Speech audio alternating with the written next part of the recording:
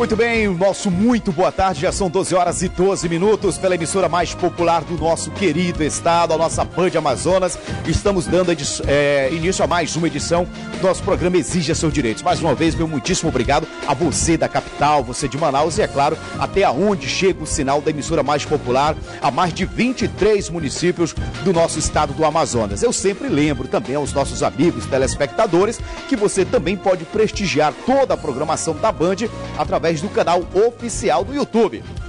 É isso mesmo, hein? Você pode acessar youtube.com barra Amazonas. Lá você vai poder ver e rever, comentar, compartilhar, curtir o programa Exija Seus Direitos, assim também como toda a programação local aqui da nossa Band. Mais uma vez, obrigado, porque graças à sua participação através das redes sociais, o programa está chegando a cada dia mais longe. Então vamos trazer muitas informações, sempre é claro, como a gente faz todos os dias, com credibilidade, através do jornalismo da nossa Band, através do nosso jornal, do nosso Band Cidade, essa parceria que vem crescendo a cada dia, trazendo mais qualidade e, acima de tudo, credibilidade a você que é, é um telespectador e amigo da emissora mais popular. Portanto, sejam todos bem-vindos pela Band Amazonas, mais uma edição do programa Exija Seus Direitos.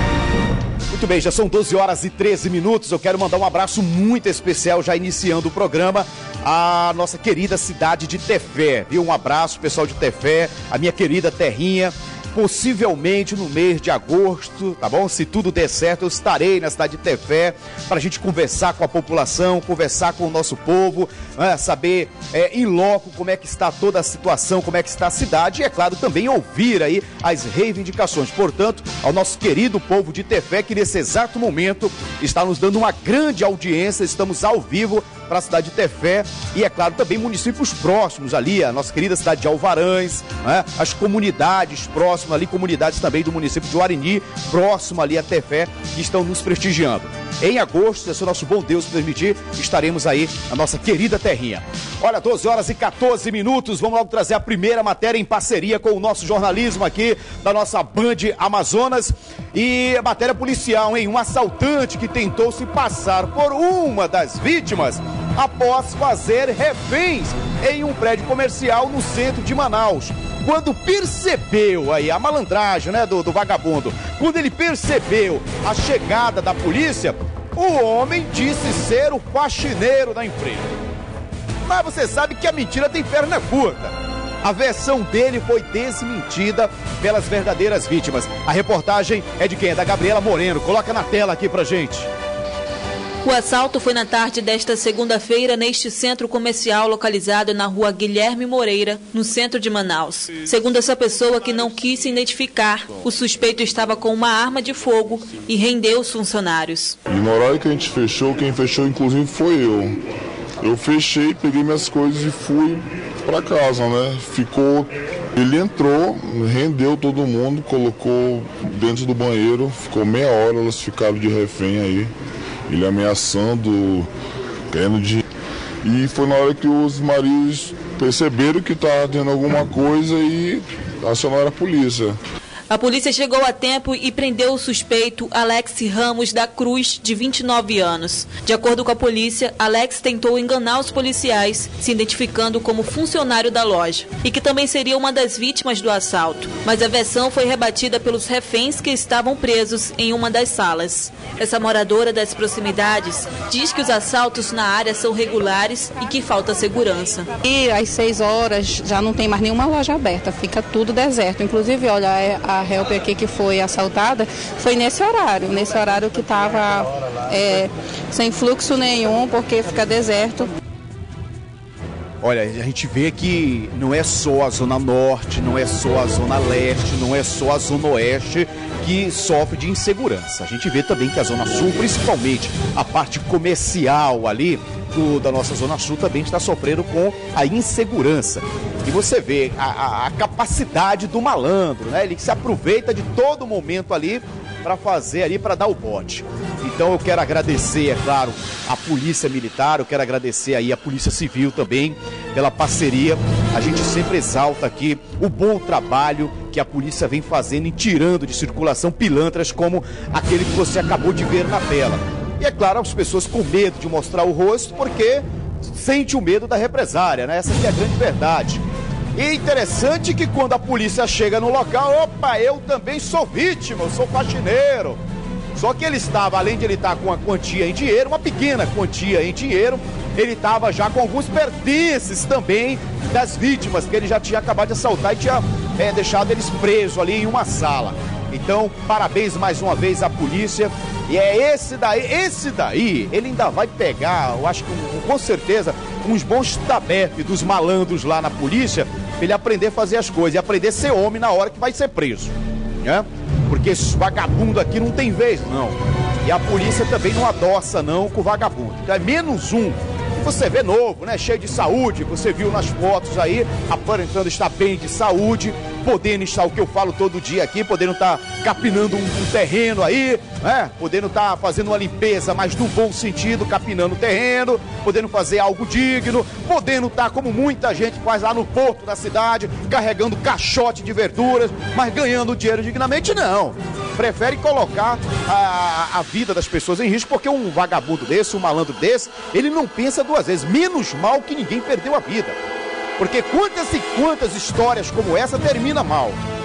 Pessoas que perdem a vida por 10 reais, por 20 reais. Tem pessoas que perdem a vida até por não ter nada para o bandido naquele momento.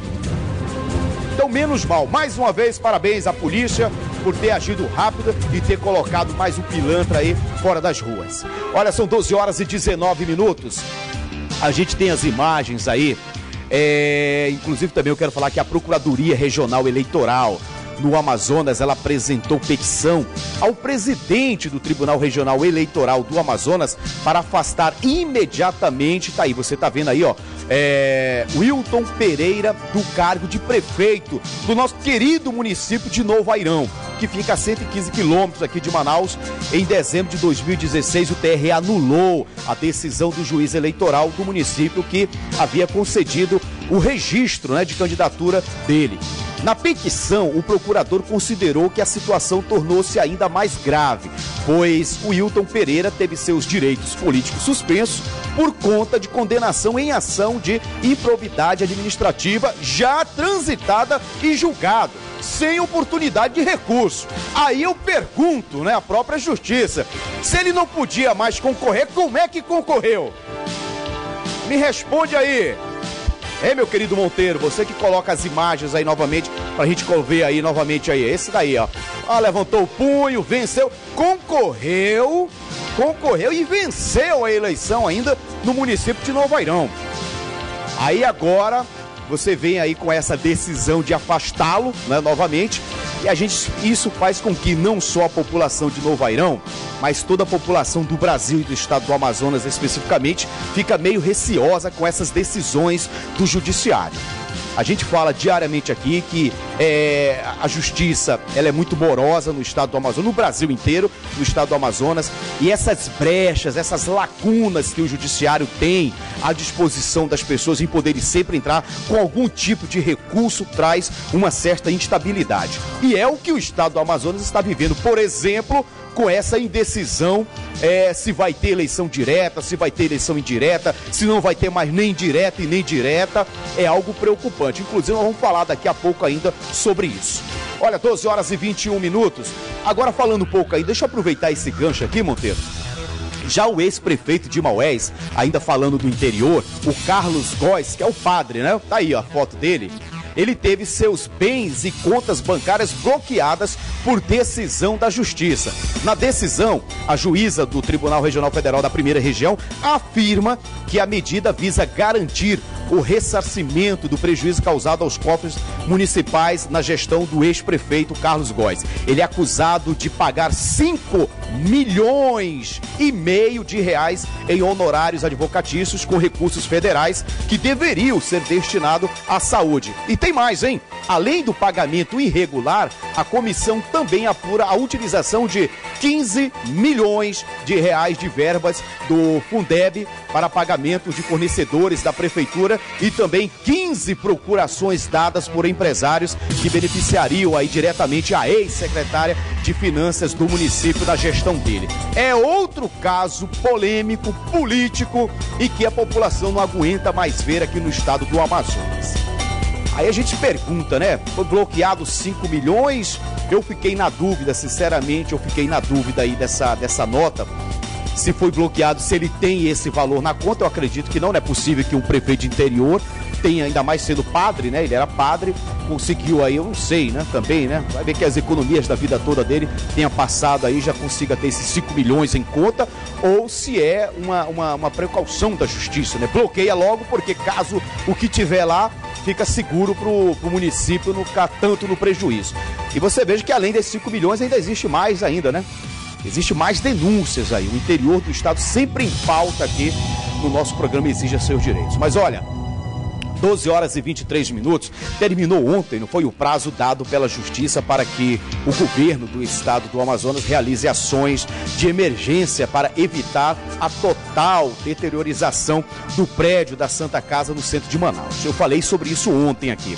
A Secretaria de Cultura vai inclusive preparar um laudo né, de recebimento do imóvel. A gente tem os detalhes, coloca pra gente aqui na matéria. O prazo para começar as obras terminou nesta segunda-feira, mas antes da atividade de recuperação, a Secretaria de Estado da Cultura do Amazonas vai avaliar a atual situação do local, para poder atender a recomendação da Procuradoria-Geral do Estado por meio da determinação da Justiça Federal. O Estado deve evitar a ruína do prédio. Uh, o plano elaborado pelo IFAM pelas informações que eu tenho da Secretaria de Estado de Cultura, ele vai além disso e contempla, inclusive, uh, atividades de restauração que não foram determinadas pela Justiça Federal.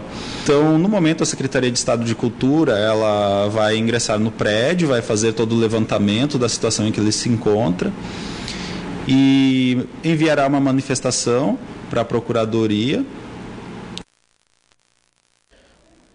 sobre a inconsistência do plano de ações elaborado pelo IFAM, em que pese isso já tenha sido apontado no processo que tramita na Justiça Federal. O prédio da Santa Casa de Misericórdia está desativado desde 2004. E quem passa por aqui sente tristeza ao ver o prédio abandonado. Deu uma pena, né, que esteja assim. Toda vez que eu passo aqui, meu Deus do céu, por que, que a Santa Casa ficou desse jeito? Por que, que abandonaram, né? Santa Casa, não pode morrer isso não. Isso é tradicional, isso é patrimônio do Estado. O Gilberto, que nasceu aqui, diz que existe um descaso com o prédio, que é patrimônio histórico do Estado. Que eu nasci aqui há 55 anos atrás, vou fazer 62 anos. Ainda eram as freiras que administravam isso. Ainda eram as freiras. E hoje em dia você entra, fica triste, porque você praticamente deu a luz aí, a mãe, minha mãe deu a luz aí, hoje está com 81 anos, aí você vê o descaso do poder público na situação. O prédio, além de ser abrigo para moradores de rua, também tem sido alvo de depredações e tem servido até como local de crimes. O corpo de uma grávida foi encontrado aqui dentro. Depois disso, no dia 20 de junho, a Justiça Federal determinou que o prédio fosse restaurado em 10 dias. O prédio da Santa Casa de Misericórdia de Manaus é de propriedade particular, mas o imóvel foi tombado como patrimônio histórico e passou a ser responsabilidade do Instituto de Patrimônio Histórico e Artístico Nacional, o IFAM. O governo do Amazonas deve computar todos os gastos e a justiça vai avaliar o plano do IFAM. A primeira etapa é identificar exatamente quais são as condições do imóvel no momento, porque ele é extremamente grande, ele não se limita à fachada que a gente pode observar da rua, ele contempla anexos bem destruídos, então é necessário fazer todo um levantamento antes de poder dar uma estimativa de prazo.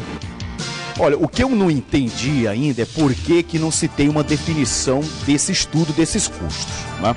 Esse negócio de ficar sempre deixando para depois, sempre ficar deixando para depois, acaba acarretando mais prejuízo para os próprios estados, ou seja, para nós, cidadãos, para nós contribuintes.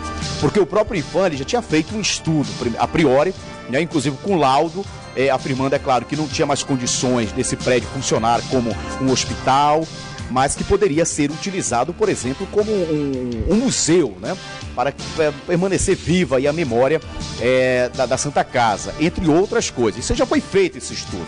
Então, ontem, no último dia, no último prazo, ou seja, para o governo se manifestar, é que a Secretaria de Cultura, né, inclusive, lançou uma nota aí é, dizendo que já vai fazer os estudos. É, é, essa obrigação a priori do governo em fazer aí a manutenção é algo superficial. É bom que a gente diga isso também. Né? É aquela coisa lá, é fazer com que o que já está ali não piore né? fazer com que ali não, não seja um centro de vandalismo, que ó, as imagens que você confere aí é que não piore o que já está péssimo. Essa que é a grande verdade. É, é para que outras, para que mais pessoas é, drogadas não continuem aí, é para que pessoas que já perderam a vida aí também é, não percam a vida, não sejam assassinadas, é, ou seja, que não sirva também aí é, um local para moradores de rua. Então isso tudo é uma decisão assim emergencial. Essa é uma decisão emergencial. Agora é claro que a gente espera sim que algo melhor seja feito. E a gente fala aí da Santa Casa de Misericórdia, ou seja, do que sobrou aí, né, desse prédio. E quantos outros prédios no, na cidade de Manaus, especificamente na área do centro ali, existem e que estão abandonados? Esse é só mais um de muitos. Então você que está atento aqui à emissora mais popular, a gente sempre vai estar informando aqui e denunciando, é sempre, sempre aqui ouvindo os nossos telespectadores. Olha, são 12 horas e 28 minutos. A Universidade do Estado do Amazonas, ela divulgou um boletim econômico. É bom que a gente sempre fala isso, né? Ela fala de um boletim econômico e a gente vai falar daqui a pouquinho sobre isso, sobre essa matéria. Tu tem a matéria aí? É só uma nota coberta, ô, meu querido? Tá? Então deixa eu ver aqui. Deixa eu... Coloca a matéria aqui pra gente então, que daqui a pouquinho a gente fala um pouco mais sobre isso. De acordo com o coordenador do Núcleo de Estudos e Pesquisas em Economia da Universidade do Estado do Amazonas, o primeiro boletim econômico industrial divulgado hoje é positivo. Neuler de Almeida explicou sobre o cenário econômico da região e falou sobre os empregos no polo industrial de Manaus. A gente mostrou no boletim né, os dados dos saldos de empregos médios aqui no nosso estado. Então a gente vê, por exemplo, que no início do ano, né, há sempre um saldos negativos, as empresas elas demitem mais do que contratam, e aí no meio do ano, dado o período de maio, né, que é o período do Dia das Mães, a linha branca pô, começa a vender mais, então há um pico de, de maiores contratações em relação ao número de demissões, e aí também preparação para o final do ano. O Núcleo de Estudos e Pesquisas da OEA também destacou a variação do preço do combustível aqui na cidade. Ontem mesmo nós já tivemos uma outra alteração, agora para mais, né, em que o preço da gasolina está aumentando em torno de 2,8% e o do, do, óleo diesel em torno de 1,8%. Então o que acontece? Existe uma oscilação muito forte no preço do barril de petróleo ah, lá fora, o barril de petróleo está girando em torno aí de 50 dólares o barril e isso tem causado aí uma, uma influência muito grande, tem influenciado é, a variação do preço dos derivados de petróleo no Brasil e no mundo. Outro fator que interfere no valor final do combustível aqui em Manaus é o transporte o combustível aqui no nosso estado, ele chega, além dele ter o, a incidência da carga tributária, existe também a dificuldade do acesso ao combustível aqui, porque grande parte do combustível que é gerado aqui no nosso estado, ele é transportado a partir de balsas e isso aumenta mais ainda o custo. É, olha, é importante também a gente falar aqui que estudos como esse agora serão assim trimestral, ou seja, a cada três meses é, eles têm essa ideia de trazer estudos como esse, que é importante, né? É importante até para a parte econômica, quem estuda a parte econômica, é importante também para que a população fique um pouco mais ciente, essa oscilação que acontece, inclusive agora semanalmente, aí com a questão da gasolina. Eu falei ontem sobre esse, essa, essa questão, que na sexta-feira, não é isso? Na sexta sexta-feira tinha baixado o valor da gasolina e aí ontem, ontem, antes de ontem, já tinha dado um aumento, quer dizer, e aí os postos de gasolina, ou seja, os proprietários, eles nem chegaram a reduzir o preço porque muitos afirmaram que aquele preço reduzido antes, ou seja, da, da, da, da redução oficial, já era preço promocional. O que, que eles fizeram? Foi aumentar. Inclusive aí eu fiquei sabendo ontem é, ontem conversando com, alguns gerentes de postos de gasolina, na hora que você vai lá abastecer, a gente sempre conversa, sempre procura assunto. Ele falou: olha, inclusive estão dizendo que de hoje para amanhã vai aumentar o preço na bomba. E é complicado isso. O cidadão fica meio assim. É importante a gente sempre pesquisar, é importante a gente sempre procurar. É, é difícil? É o cidadão ultimamente não tem mais aquela, aquela questão de chegar no posto de gasolina e dizer abastece aí, é, enche o tanque ou, ou, completa, né? Agora não, é 20, 30 reais ali, porque a gente nunca sabe o dia de amanhã. Mas sempre que possível você pegar um preço baixo, a gente recomenda que você tente colocar o máximo possível, porque no outro dia o preço da gasolina já pode aumentar. Essa é a grande verdade. Já são 12 horas e 35 minutos. Eu quero mandar um abraço para você em qualquer lugar. Nós vamos de intervalo comercial. Daqui a pouquinho você continua aqui, ó, de olho na tela, porque tem mais bronca, tem mais denúncia, muita coisa ainda vai rolar aqui no programa de hoje. Continue com a gente. São 12 horas e 37 minutos de volta aqui com o programa Exija Seus Direitos. Muito obrigado a você que está conosco desde o início. E é claro, você que está ligando o seu televisor agora, seja aqui em Manaus, na capital amazonense ou no interior. Muito obrigado. Se perdeu a primeira parte do programa, não se preocupe, logo mais é só acessar youtube.com barra Band Amazonas e toda a programação do Exija Seus Direitos, não só o programa de hoje, os programas anteriores, assim também como outros programas que fazem parte da grade da emissora mais popular está à sua disposição. Eu estava aproveitando agora aqui o intervalo, estava conversando com o Reinaldo do Armazém Paraíba nós estávamos falando sobre essa premiação. Eu fico imaginando, né? Meio milhão em prêmios, gente. É muita coisa. Imagina, tem quantas geladeiras deve ser geladeira, sofá, bicicleta, guarda-roupa, roupeiro. É muita coisa boa. Então, só para lembrar mais ainda, né? Porque até eu fiquei assim, estonteado. São cinco carros e meio milhão em prêmios. É muita coisa boa mesmo. E só o Armazém Paraíba para fazer isso pelos seus clientes. Então, vamos lá. Olha, 12 horas e 38 minutos. Eu quero, inclusive, lembrar a você, telespectador, que queimar lixo doméstico ainda é uma prática comum, infelizmente, em Manaus. Mas atividade, além de ser considerada crime, pode trazer complicações. É que com a chegada do tempo quente e seco, a possibilidade de propagação do fogo é bem maior. A gente tem uma matéria sobre isso. Coloca na tela aqui pra gente. De acordo com o Corpo de Bombeiros, do início do ano até esse mês de julho já foram registradas 18 ocorrências de queimadas de lixos domésticos na capital. Casos que podem aumentar ainda mais com a chegada do verão, por conta da forte temperatura e do clima seco. Principalmente nesse período de julho a setembro, onde os números de queimadas urbanas aumentam, né? tendem a tende a aumentar devido a, a fatores como o clima está mais seco, né, a, a vegetação também está seca né, e a pouca incidência de chuva. Então ocorre que as pessoas ainda têm a cultura de incendiar né, lixo, né, fazer a, o recolhimento do seu material né, descartável e tocar fogo.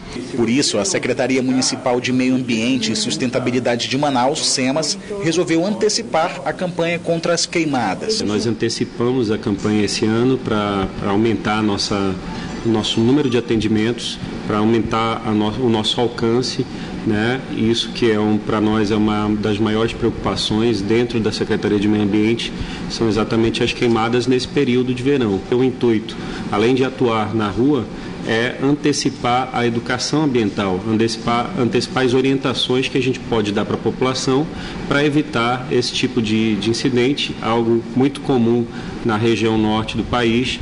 O objetivo da campanha é cada vez mais informar e conscientizar a população que queimadas em áreas urbanas é crime.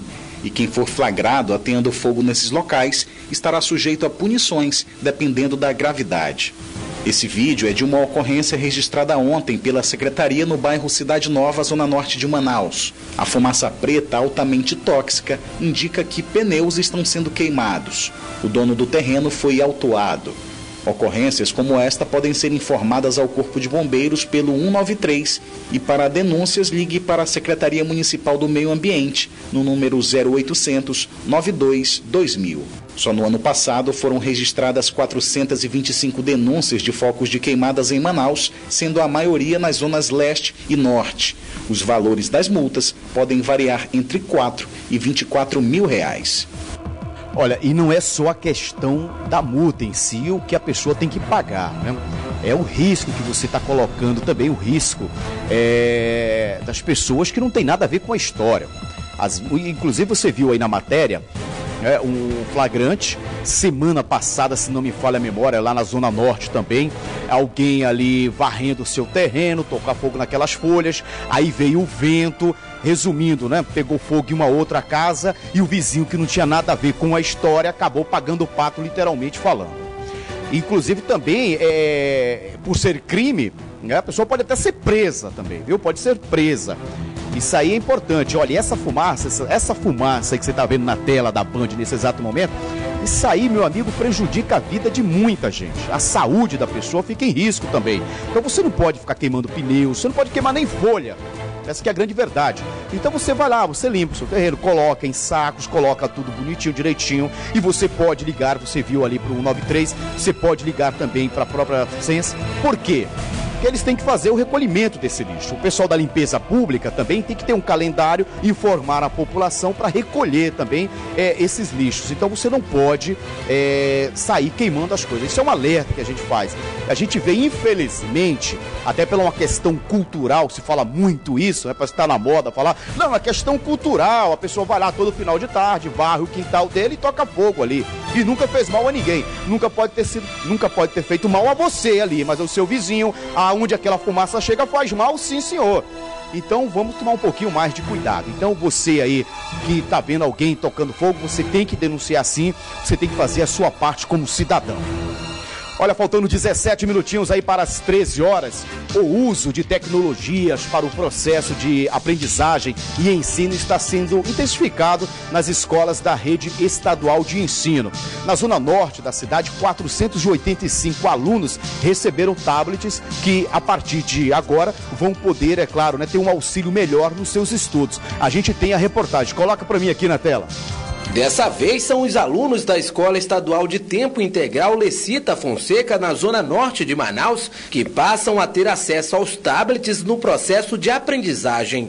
A realidade aumentada disponível nos aplicativos multidisciplinares é um dos principais recursos dos equipamentos entregues hoje. Equipada com um laboratório e sala de informática, o complexo educacional atende 485 alunos do ensino médio em regime de tempo integral. Esses instrumentos vão daqui a pouco se tornar coisas comuns, mas eles representam hoje a ideia de que o Estado está instrumentalizando, está dando o aporte necessário para que se aprenda, para que haja um trabalho efetivo e resultados bons na educação. A aluna do terceiro ano, que também recebeu o tablet, já comemora o uso da ferramenta. No tablet a gente se encontrou alguns, alguns corpos humanos em 3D lá, então deu para analisar tudo, então tá perfeito. O governador Davi Almeida participou da entrega. É um avanço significativo no, no, no, no ensino do Estado e nós queremos levar ao interior do Estado, a todas as, as escolas dessa cidade, do nosso interior, para que nossos alunos possam ter uma melhor formação. Muito bem, olha, a gente, eu falei ontem sobre é, essa questão da inclusão, né? a inclusão digital, é, é, é, a necessidade de se incluir também no ensino, desde o ensino básico, isso que é a grande verdade. Hoje não dá mais para você diferenciar. Hoje as crianças literalmente já nascem já mexendo no smartphone. Eu fico impressionado com isso quando eu vejo uma criança de um ano, dois anos já querendo ampliar ali a imagem na, na, na, tela, né, no touchscreen do smartphone. Então, ações como essa são extremamente necessárias, é importante sim. É, você abre horizontes e através da leitura, do livro, a gente costuma dizer que a gente conhece várias culturas, a gente viaja através da leitura. Você imagina tendo ferramentas como essa através da internet, ou seja, com a aquisição de tablets, as crianças, as nossas crianças, os nossos jovens, os alunos né, da rede pública, podendo é, ampliar ainda mais o seu conhecimento. Então, parabéns aí a essa ação, muitíssimo importante. Olha, olha, vamos lá então, agora que são 12 horas e 48 minutos, candidatos aprovados no concurso da Secretaria de Saúde do Estado, isso em 2014, é, estiveram acampados, iam em frente à Secretaria, no bairro do Aleixo, para pedir a convocação. A gente tem a matéria, coloca aqui. Mais uma vez, o restante dos concursados da Suzan de 2014 foram para frente da sede da Secretaria de Estado de Saúde do Amazonas reivindicar as convocações. Dessa vez, eles prometem ficar acampados em frente à secretaria até receberem uma resposta do governo. Em nota, Suzan informou que neste mês de julho fará uma convocação de 300 candidatos aprovados no concurso público e ressaltou que o concurso está dentro dos prazos legais estabelecidos por lei e tem vigência até abril de 2019, conforme portaria da prorrogação publicada no dia 23 de março de 2017, no Diário Oficial do Estado. Muito bem, olha, é importante porque os concursos existe um prazo de validade. A preocupação dessas pessoas que fizeram o concurso, que estudaram, investiram e é medo de perder o prazo porque aí o certame fica anulado. Essa é a grande verdade. É, o governo do estado já, já acenou, já positivamente, para que essas pessoas já sejam chamadas. A gente vai aguardar e vamos ficar de olho. Portanto, você que sempre prestigia a Band, fique sempre atento, viu? Olha, depois da liminar que suspendeu a eleição suplementar no Amazonas de forma direta, existe a real possibilidade do novo governador ser escolhido de forma indireta. É isso mesmo. Mas o que é mesmo uma eleição indireta? Você sabe, muita gente tem dúvida, então entenda um pouco mais na reportagem de Oreste Litai e Jackson Rodrigues, na tela da Band. Você sabe o que é eleição indireta? Não. Não. Com certeza não. Indireta é quando só os deputados votam. As incertezas ainda estão por todo lado. Depois da cassação do governador José Melo no dia 4 de maio, muito se fala em quem poderá ser o substituto. Na decisão do Tribunal Superior Eleitoral foi determinado a realização de nova eleição para eleger o novo governador do Amazonas. Convenções definiram novas alianças. Estava aberta a corrida pelo governo tampão o povo iria novamente às urnas para eleger o novo chefe do Poder Executivo do Amazonas. É, mas aí na semana passada, o ex-vice-governador do Amazonas, Henrique Oliveira, entrou com uma ação no Supremo Tribunal Federal pedindo a suspensão da eleição em curso, que teve o parecer favorável da Procuradoria-Geral da República. O ministro do STF, Ricardo Lewandowski, concedeu uma liminar suspendendo a eleição e ainda ordenou que a escolha do novo governador do Amazonas seja feita de forma indireta. Mas o que é uma eleição indireta? Afinal, os amazonenses estão preparados para esse tipo de escolha? Na eleição indireta, o chefe do executivo é escolhido por um colegiado eleitoral, constituído por uma assembleia fechada no caso de uma eventual eleição indireta no Amazonas, o novo governador pode ser escolhido pelos 24 deputados estaduais. Como é que ele vai votar por mim? Ele não pode votar por mim.